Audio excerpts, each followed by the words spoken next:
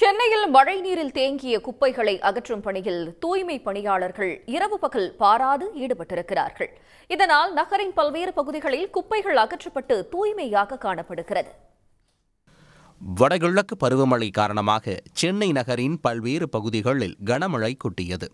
இதன் காரணமாக கோயம்பேடு அரும்பாக்கம் தியாகராயர் நகர் சைதாப்பேட்டை கிண்டி பல்லாவரம் பெரம்பூர் வியாசர்பாடி தண்டையார்பேட்டை எண்ணூர் மற்றும் திருவொற்றியூர் உள்ளிட்ட பல்வேறு பகுதிகளில் குளம் போல் தண்ணீர் தேங்கியது.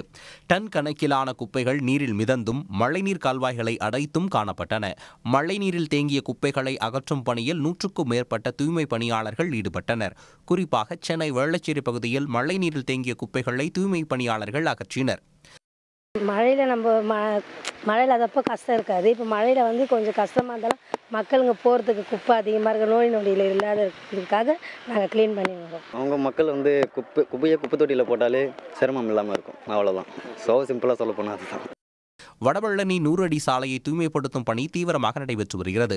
பணிகளை விரைந்து முடிக்கும் விதமாக கூடுதலாக வெளி மாவட்டங்களைச் சேர்ந்த தூய்மை பணியாளர்கள் பணியில் ஈடுபடுத்தப்பட்டுள்ளனர்.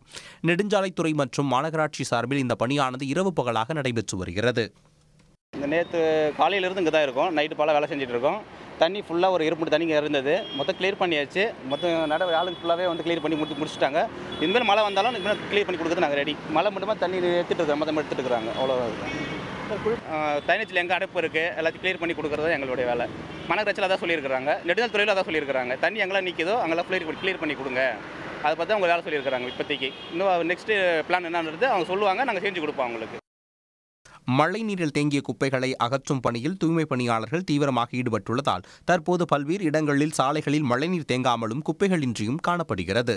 உடனுக்குடன் செய்திகளை தெரிந்து கொள்ள சன் நியூஸ் பெல் கிளிக் பண்ணுங்க.